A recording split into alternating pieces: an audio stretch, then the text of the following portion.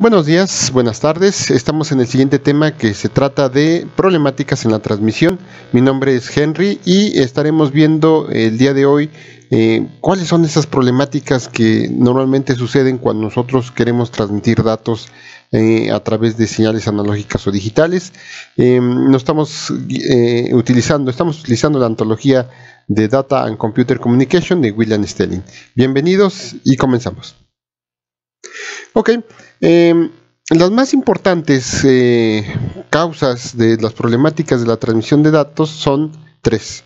En este caso es la atenuación, ¿no? Este, la distorsión, la atenuación de la señal, ya lo habíamos visto en el, en el video pasado, la atenuación, la distorsión y el ruido. Entonces, esas tres son las que nos van a generar muchos dolores de cabeza a la hora de transmitir y que debemos cuidar y o podemos eh, utilizar algunos, algunas herramientas para evitar ello. ¿Qué tiene que ver la atenuación? Bueno, la atenuación es, este, pues propiamente mandamos una, una fuerza, una potencia de, de, señal y esta va cayendo conforme va avanzando a la distancia, dependiendo el medio, este, algunos más, algunos menos, algunos menos, pero en todos los medios tienen esa pequeña caída de, fuerza, ¿no? Entonces, eh, lo que llamamos como reducción de fuerza o atenuación, que es lo mismo, generalmente es exponencial, ¿no? Y normalmente eh, lo vamos a expresar en, números decibeles por unidad de distancia. Eh, esa, la atenuación es un poquito mucho más compleja este, en función de la distancia que, este, que podemos estar observando. ¿no? Entonces, eh, la, atenuación considera tres, tres cosas que como ingenieros debemos tomar en cuenta. Primero, cuando nosotros eh, recibimos una señal, debe ser lo suficientemente fuerte para que los circuitos electrónicos que tenemos para recibirla puedan detectarla. O sea, ese es el primer principio. O sea, no me sirve que llegue una señal tan débil que tenga yo que utilizar toda una superelectrónica para poder eh, encontrar lo que llegó, ¿no? Entonces, eh, como primer característica, la señal debe llegar suficientemente fuerte para que la parte de electrónica que la está recibiendo la entienda, la, la reciba. Segundo, que eh, debe tener un, nivel suficientemente, debe mantener un nivel suficientemente alto para que el ruido no nos genere error. O sea, eh, no puede venir tan débil que se confunda con el error y nosotros cuando intentemos eh, reconocerla o desplegarla o intentar recuperarla, eh, pues está toda confundida con el, er-, con el error. Entonces nosotros tenemos que tener un nivel suficientemente alto para que, este, alto en fuerza, en potencia, para que no tengamos el problema del error. Y la tercera es que eh, la atenuación va a variar con la frecuencia. Entonces, eh, en, alguna, en algunas frecuencias vamos a tener mayor atenuación que en otras frecuencias. Entonces, esas son las tres cosas que tenemos que ver como ingenieros que eh, para el concepto de atenuación. Y pues es fácil reconocer la atenuación. Este es la atenuación va a ser igual a este, menos, porque finalmente es una atenuación, menos 10 por el logaritmo base 10 de la potencia de la función, ¿no?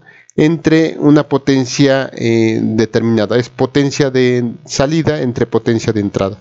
Entonces nosotros podemos ver con esta fórmula si nuestra señal es atenuada y este bueno eh, si en dado caso necesitamos eh, poner otro tipo de frecuencia con la intención de que no llegue tan atenuada, ¿no?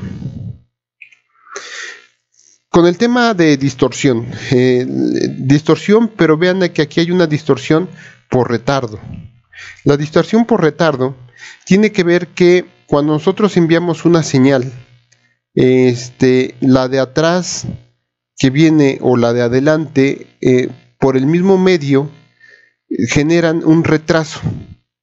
Y entonces, este, cuando regresa, cuando llega al punto final, ese retraso ya se transformó en un choque entre varias este, y ya deformó la señal original. Aquí, por ejemplo, estamos viendo en, este pequeño dibujo, este, bueno, aquí en señales analógicas, ¿no? Mandamos una señal sin, sin interferencia y llegó todavía este, revuelta, ¿no?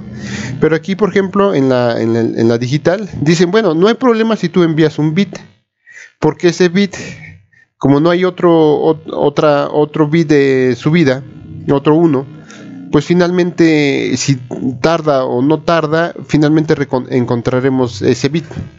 Pero el problema viene cuando empiezas a enviar mm, una, una cadena de bits, ¿no? Una secuencia de bits.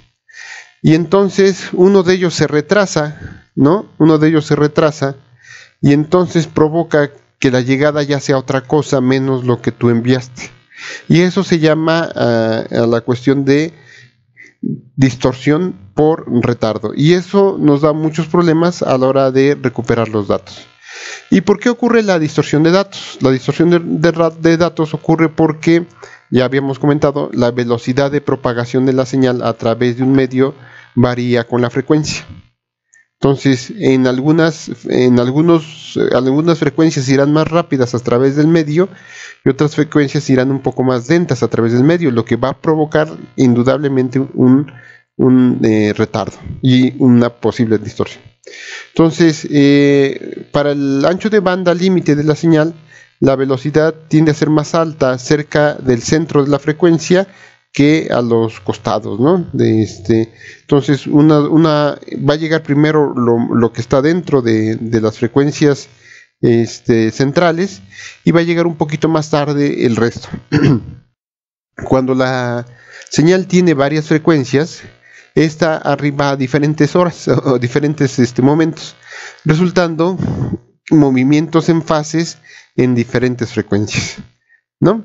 Entonces aquí, por ejemplo, observen que tenemos nuestra señal compuesta, que ya más o menos lo habíamos visto en algún momento, que era eh, compuesta de una señal sinusoidal, habíamos dicho frecuencia 1, ¿no? Con una con frecuencia 2 y una con frecuencia 4.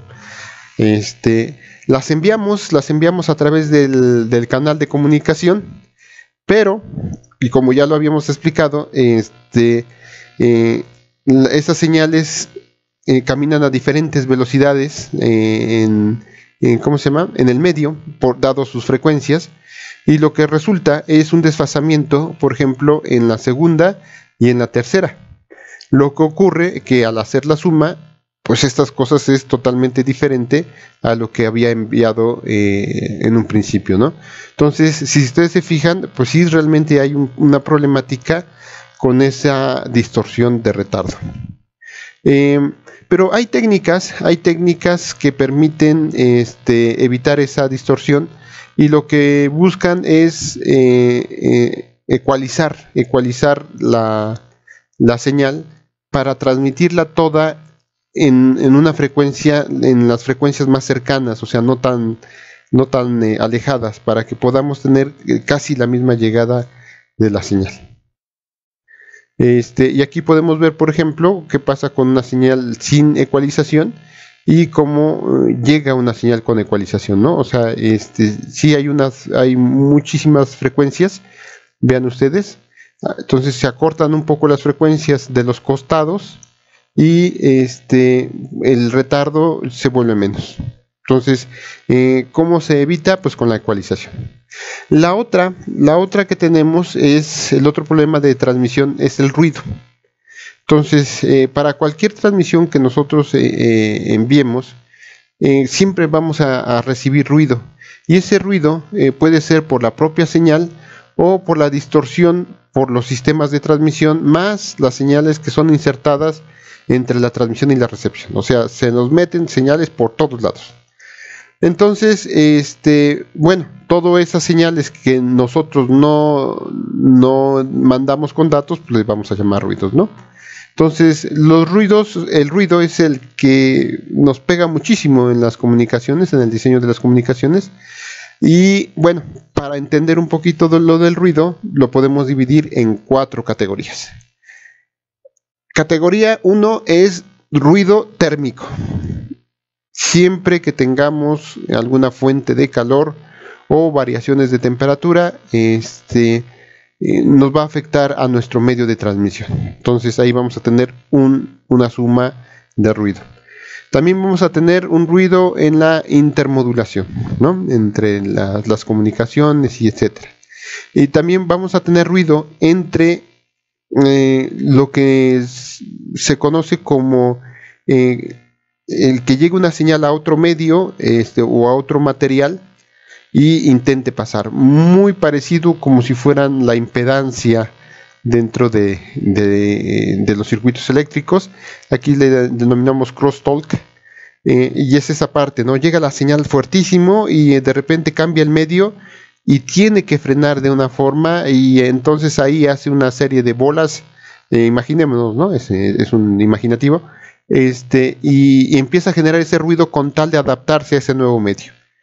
Entonces, si nosotros quisiéramos eh, imaginarnos cómo es ese crosstalk, eh, imagínense que ustedes tienen su lamparita y le apuntan al, ¿cómo se llama?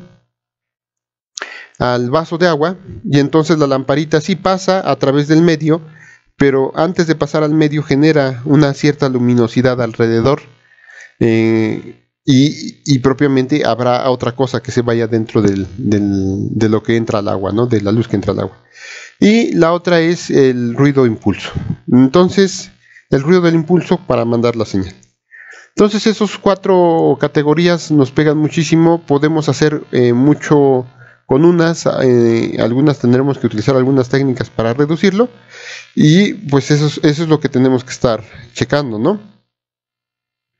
Por ejemplo, vean ustedes que este, nosotros transmitimos en un punto, ¿no? Este, mandamos esta señal, pero el, medio nos mete ruido, nos mete este ruido que nos va a afectar la recepción.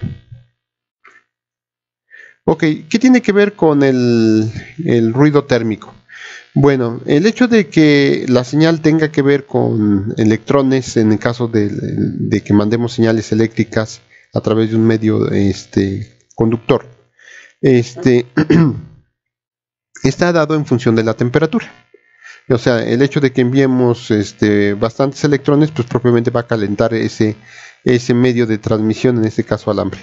Entonces, eh, también el, ruido eh, térmico tiene que ver con el ancho de banda y es típicamente, este, se le conoce ese ruido eh, como ruido blanco, ¿no? Ese ruido no puede ser eliminado este, de los sistemas de comunicación porque pues es propiamente donde sale, ¿no? Este, donde, camina pues con los alambres. Este, pero bueno, eh, hay que evitarlo y es sumamente eh, eh, particular este, en las comunicaciones por satélite también, ¿no? O las estaciones terrestres.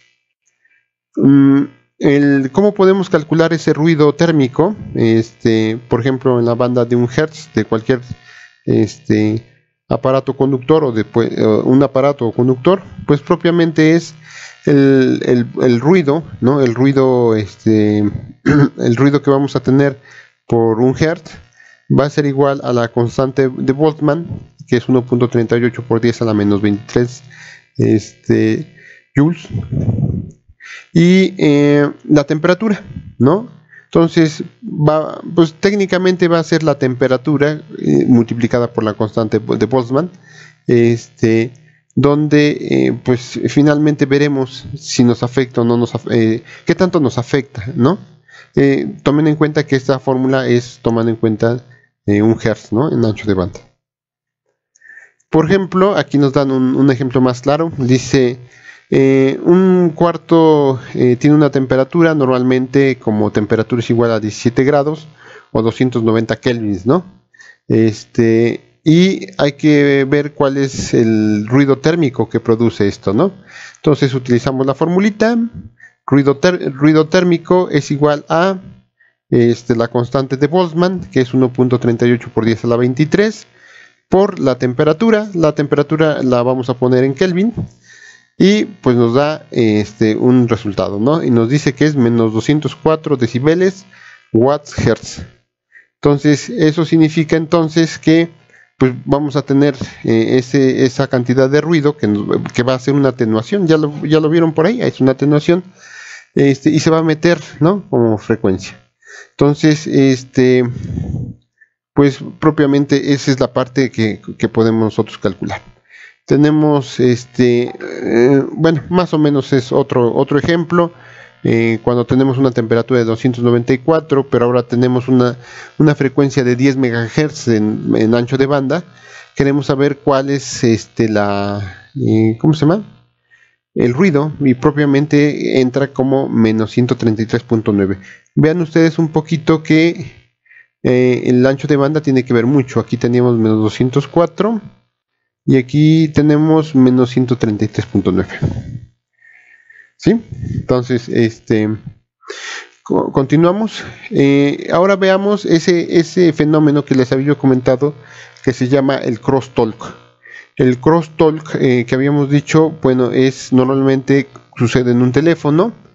Este, cuando nosotros queremos conversar con otra persona y tiene que haber acoplamiento de señales, de acoplamiento de señales dentro de los dispositivos ese acoplamiento este, de señales pues puede ser en pares, coaxiales, este, eh, de diferentes conectores, pero este, o también en forma, este, ¿cómo se dice? Inalámbrica a través de las antenas de microondas, ¿no? Y esos, eh, esa energía este, en, en, el acoplamiento, pues normalmente le vamos a llamar crosstalk. Y bueno, su magnitud, aunque es menor, eh, pues, eh, aunque es menor ruido, este, pues también es ruido, este, ruido que nos mete ahí a nuestros sistemas, aunque es menor que el térmico. Este, ¿cuál es el, ruido de, impulso? ¿No? Eh, no es continuo, es únicamente cuando nosotros mandamos ese pulso en alto, una amplitud alta, y esto es usado, perdón, es generado normalmente por eh, perturbaciones electromagnéticas, ¿no?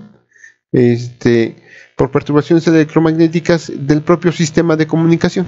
O sea, el, sistema de comunicación pues no es no es este perfecto, no es este totalmente limpio y entonces eso es lo que nos produce un, eh, ruido de impulso. Entonces aquí ya para terminar esta, esta plática, espero que, les haya sido interesante, vean ustedes que nosotros queremos transmitir, queremos transmitir un, tren de, datos, entonces vamos a enviar un 1, un 0, un 1, dos ceros, dos unos, dos ceros, que lo representamos a través de una señal digital, ¿no? A través de una señal digital este, representamos cada uno de ellos. Eh, está en una lógica inversa. Este, y pues mandamos la señal, pero se nos mete ruido, ¿no? Este, se nos mete ruido propiamente de, pues del sistema, ¿no? no eh, aquí no, no aclaramos si ese ruido es térmico, ese ruido es por impulso, ¿no? Este, o ese ruido es este, por eh, acoplamiento. Entonces, bueno, imagínense la señal, llega el ruido, pues tenemos que sumar la señal con el ruido, ¿no? Finalmente, porque pues es lo que nos va a llegar.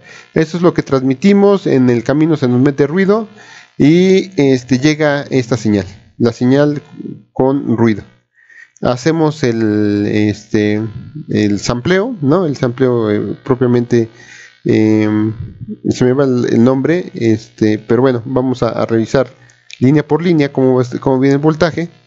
Eh, vemos los datos que hemos recibido y que nos da 1, 0, 1, 0, 1, 0 y de repente observamos que tenemos bits de error, bits de error que no los enviamos. Eh, técnicamente lo que arribó no fue lo que originalmente eh, solicitamos, ¿no? Entonces el ruido sí nos afecta muchísimo y por eso es importante reconocerlo para evitarlo. Em, y bueno, este, hasta aquí eh, damos por terminado esta segunda plática de eh, pues las, eh, las cuestiones que hacen que falle la transmisión de datos. Muchas gracias y hasta la próxima.